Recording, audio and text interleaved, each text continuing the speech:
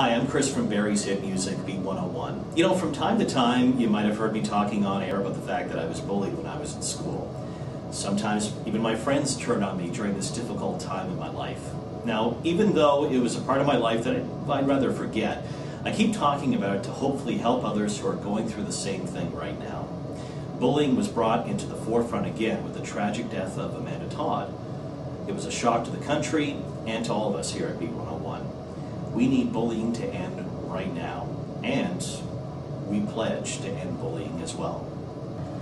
I believe that everybody has the right to live in a community where they feel safe, included, valued, and accepted, regardless of their differences. I pledge to be respectful of others and stand up against bullying whenever and wherever I see it. Bullying affects everyone, young and old, and male and female. It doesn't discriminate. Take the pledge right now and show that you care too.